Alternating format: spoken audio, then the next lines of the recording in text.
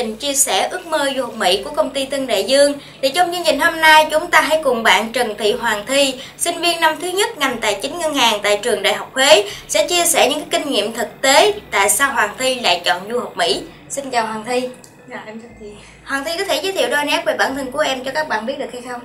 Ừ, Dạ em là Trần Thị Hoàng Thi à, đang à, học à, tại ngành tài chính ngân hàng tại Đại học Kinh tế Huế à, Em chọn du học Mỹ tại vì à, ở Việt Nam thì à, chương trình học nó không được thực tế học nó để vận dụng thực tế hơn. Ở Mỹ thì có điều kiện tốt. À, chương trình anh văn sau này em quả ừ, nó tốt hơn sau này. Về Việt Nam thì công việc của em à, về nó liên quan tới tiếng Anh nên sẽ học xin việc thì sẽ tốt hơn. Thì qua Mỹ em học trường nào?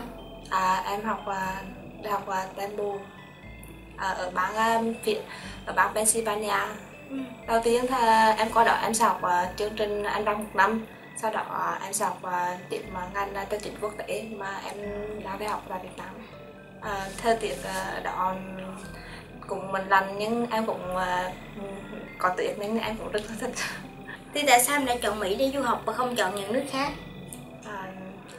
Ở Mỹ là chương trình là tốt hơn mà ban quốc tế Mỹ là cũng rất được là nhiều nơi trên thế giới được công nhận. À, chị của em cũng là đang theo học ở đó nên là em cũng gia đình của em cũng muốn tạo điều kiện cho em cùng với chị em học ở đó tốt hơn cho thuận lợi hơn.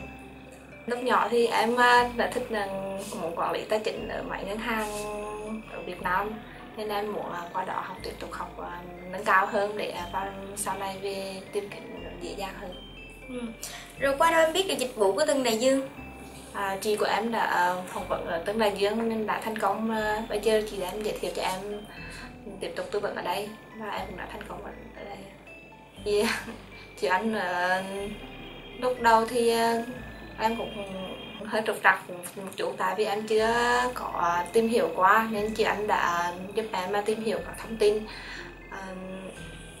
tư vấn ờ, một vài nét tìm vài nét về cái, trường cũng như là à, một vài ý kiến để giúp em à, à, trả lời những câu hỏi của um, bác đại sứ à, trong quá trình học thì em có được anh phối hướng dẫn à, một số vài ý định mà giống như à, ở Mỹ là giống như họ cũng biết à, là biết về đất nước họ đã tốt rồi. Nếu mà mình chỉ cần nếu về ở trường có cái tính học là cái điểm là tốt mình nổi bật thì mình nêu lên thôi. Còn à, mấy cái mà họ biết rồi mình không cần nêu lên đấy cô tư vấn về à, sai mình muốn chọn trường trường đó. Là trường đó là thuộc dạng 25 trường đại học mà nổi tiếng nhất ở Mỹ. À, nó có nhiều à, um, 125 năm kinh nghiệm giảng dạy. Là mình phải nói nó, nó nổi bật như thế nào còn không nói à, nó thành lập thì cũng được hay chứ lắm vậy là ừ, nó chỗ chọn chọn thơ ở bang đó. Thì uh, um, có cảnh hay là à, thời tiết như thế nào nổi bật rất nên em sẽ chọn bán hay là cái trường nằm ở đó Bây giờ em đã có visa rồi thì em có thể là chia sẻ cho các bạn những cái kinh nghiệm thực tế mà em đã trải qua để các bạn có visa giống như em được hay không?